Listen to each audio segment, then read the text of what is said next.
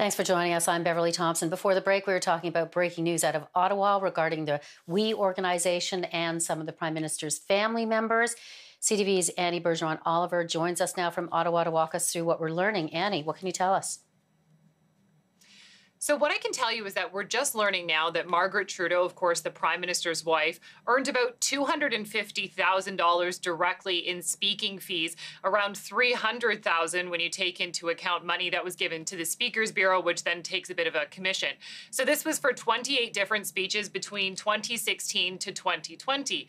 We've also learned that the Prime Minister's brother was also getting paid by We. So, if you look at the statement, they say that he spoke at eight events during the 2017 2018 academic year and received a total of about $32,000. So you might be asking, well, why is this important? Well, it's because there's now an ethics investigation into this due to the Prime Minister's close ties with We. You have to remember as well that his wife is also involved in this organization. She's an ambassador, and this was an organization that was paid millions of dollars to execute the Canada Student Grant Program which was apparently sole contract, sole sourced by the government to run a student volunteer program where students, instead of uh, who couldn't find a job perhaps this summer, could go and get paid, um, you know, 100 hours of work would give them $1,000. And we was going to provide these volunteer opportunities and help other organizations um, enable students to get volunteer placement. So, you know, the Prime Minister has come under a lot of fire lately about his close ties to We and why this organization was chosen. And and so that's why this information today is uh, of note. Yeah, and, and also an ethics commission active.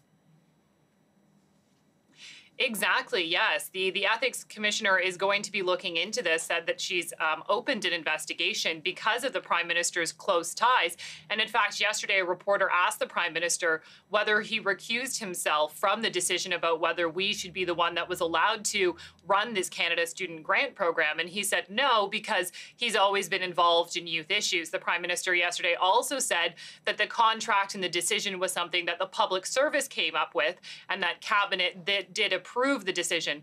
But yes, the prime minister said he did not recuse himself from this process, and now there is an investigation going in to see, you know, what happened, how this decision was made, and if it was right or if it was wrong. Yeah, so the information that you have that you're giving, so it's Maggie Trudeau and and the Prime Minister's brother Alexandre. But we remember, of course, that Maggie Trudeau was at a We event alongside Sophie Gregoire Trudeau earlier this year, and then she returned home with COVID.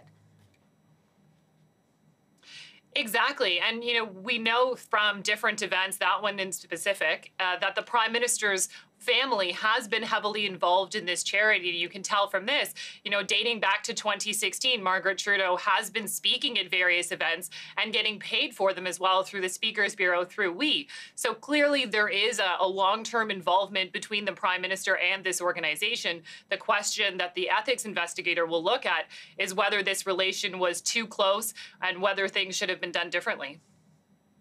Yeah, just to see about uh, whether there was a conflict. Annie Bergeron Oliver, thank you for that breaking news. Appreciate